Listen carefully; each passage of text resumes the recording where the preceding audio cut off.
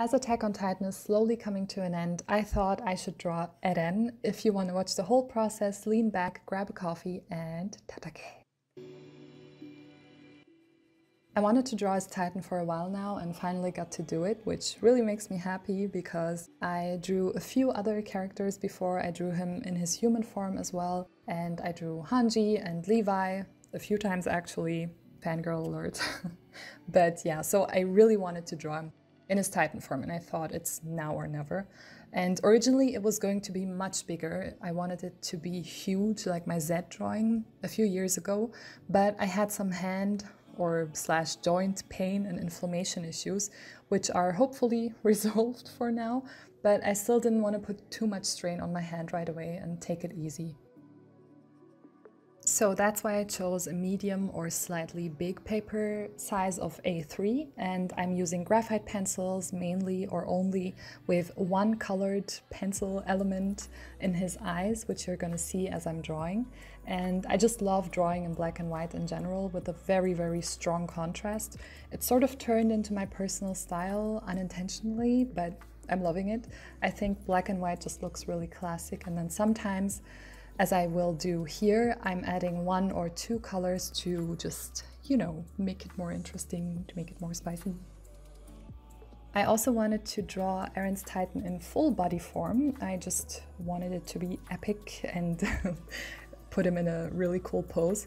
But I sketched around and decided to just draw a close-up of his face because of the paper size mainly, but also because I wanted to add details like veins and ripped skin areas, which wouldn't be as visible on this paper size versus a big paper size.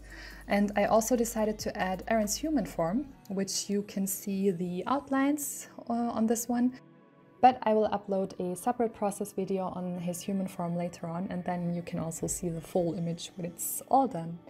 And overall, I thought this would look really cool. It's usually intuition at the end when it comes to how the drawing is going to look when it's finally done.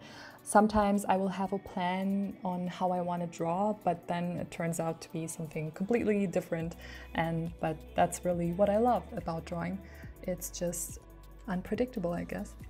For inspiration and reference, I looked at his Titan form, mainly from the anime, from different angles, and I also looked up some 3D models of his Titan. That really helps me to understand the shapes of faces of the specific face that I'm drawing. And I really like drawing profile views, so I chose to draw him that way for both his Titan form and his human form.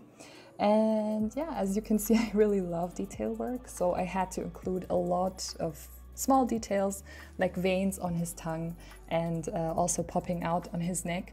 And I also just added these ripped skin areas on his jaw and the cut on his ear. I think details are initially what make a drawing come alive or a painting as well, like highlights and details. Uh, lighting in general is really important as well. That's also why it takes me so long sometimes to finish a drawing, which is completely fine. I like taking it slow with drawing. As I mentioned, I'm going to post a second part of this drawing very soon where I'm drawing his human form.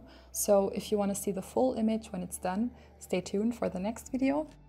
And you can also in general see all of my drawings when they're done as full pictures on my Instagram. I think that's about it. You can't see, but I'm making really weird hand movements right now. I don't know why. anyway, stay safe and until next time. Bye!